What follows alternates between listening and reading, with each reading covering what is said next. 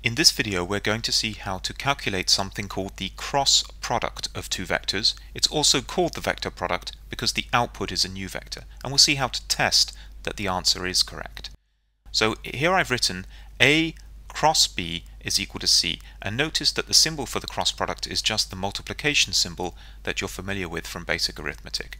Uh, I've given uh, the vector A a particular form, this 2, 3, 4 column vector, and similarly B is written as 4, 5, 6. So we're going to go ahead and find out what is the cross product of these two vectors C. Because it's a vector, we'll need to do some working for each of the three components. Now what I'm going to do is I'm going to paste up some, um, some structure to help us work through the problem. So don't worry because it's going to look like a lot, but you don't need to write all this out every time you want to do a cross product. I'm just putting it here so we can really spell out the process. Okay, so let's go ahead and work out the first component of the output vector C. Strangely enough, what we're going to do is we're going to ignore the first component of vectors A and B. So I'm just going to cross those out. Those aren't used. And what we're going to do is we're going to multiply uh, certain of the other components. What we're going to do is we're going to multiply the second component of vector A with the third component of vector B. I call that the falling diagonal because when we draw it like this, we start high and then go low. And then we're going to subtract off uh, the multiple of uh, the rising diagonal, 4 and 6 here, the last component of vector A and the middle component of vector B, so what we have here is 21, that's 7 3s are 21, minus 6 4s are 24, that's minus 3. we can go ahead now and write that in uh, as our first element minus 3. Now let's move to the second element of the output vector C. We'll start by ignoring the second component of the two source vectors A and B. We can uh, cross those off. And again, we're going to multiply some diagonals. But what's different here is we start with the rising diagonal, 4 times 5 the last component of vector A times the uh, first component of vector B, the rising diagonal. 5 4s are 20. And then we subtract off the falling diagonal, uh, so 2 7s are 14, and that's going to give us 6. So we can put that in. Now let's move to the third and final component. As before, we start by uh, noting that we will ignore the third component of the two source vectors, and we're going to need some diagonals. It's the same pattern as the first, falling diagonal first, so 2 times 6, and subtract, which is 12, and then subtract off the rising diagonal, 5 threes of 15. Alright, so that's going to be minus 3. Pop that in. Oh, we see that uh, we have quite a simple vector here. There's a common factor of 3. Let's bring that out. 3, then minus 1, 2, minus 1. That is our vector C. That is A cross B. Notice again the pattern. It was the falling diagonal minus the rising diagonal for the first component, and then the rising diagonal minus the falling diagonal for the second component, and then for the third it was back to the same pattern as for the first. Now these look a bit like letters to me.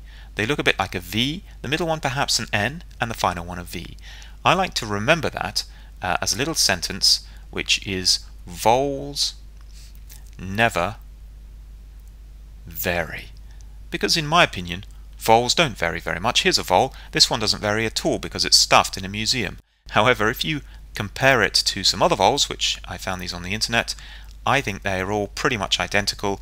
I don't see a big difference there, so for me, voles never vary. If for you, uh, they do seem to vary, then think of a different way of remembering it. But the important thing is that the first thing is the falling diagonal and then subtract the rising diagonal a V shape. And it alternates. Okay, how to check your cross product has been worked out correctly. This is really useful stuff.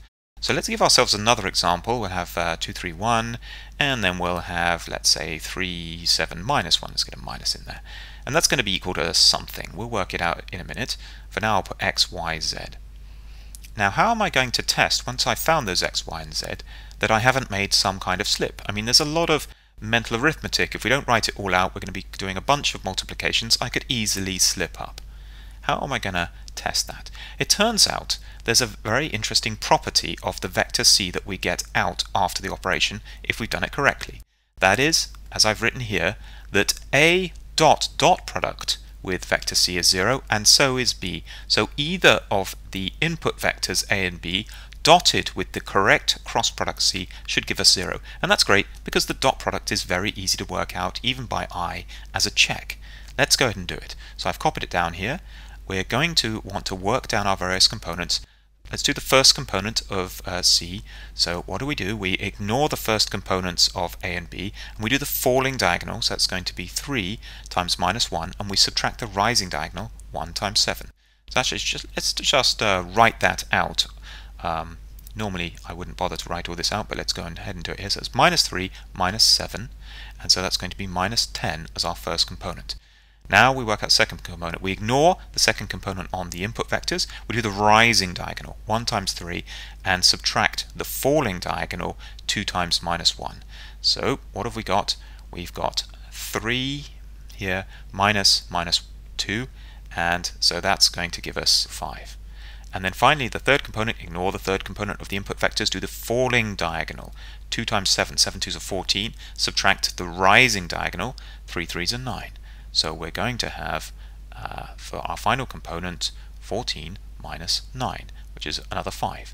Aha! So that's uh, quite a simple vector, has a common factor of 5 in there, if we wanted to write it out that way. Now let's test that guy um, versus the uh, A and B vectors to see if it pass, passes our test or have we made a slip. So let's uh, just be completely explicit about that we're going to start by uh, testing the dot product of the vector A with our hopefully correct cross product C. I'll write it out, 2, 3, 1, dot product, minus 10, 5, 5. What's that going to be equal to? Minus 20, and then 3 5s are 15, and then 1 5 is 5. Aha! It does equal 0. That's correct. That's a very, very uh, encouraging thing, but for real thoroughness, we're going to test the other one as well. So this is b dot c. Let's check that out. So that's 3, 7, minus 1, dotted with, again, minus 10, 5, 5. This time it's going to be minus, uh, minus 30 from 3 times minus 10, and then 7 5s are 35, uh, but then minus 5 from the last element, 0 again. Aha! So it has, in fact, passed both of our tests, and we're now very confident that's correct. This is a great test to do. One word of warning, though, the one thing it won't pick up is if you've done your rising and falling diagonals in exactly the wrong way round by starting with the wrong pattern. So uh, do remember the VNV pattern and this test will check for any particular slips in your multiplications. And that's the end of the video.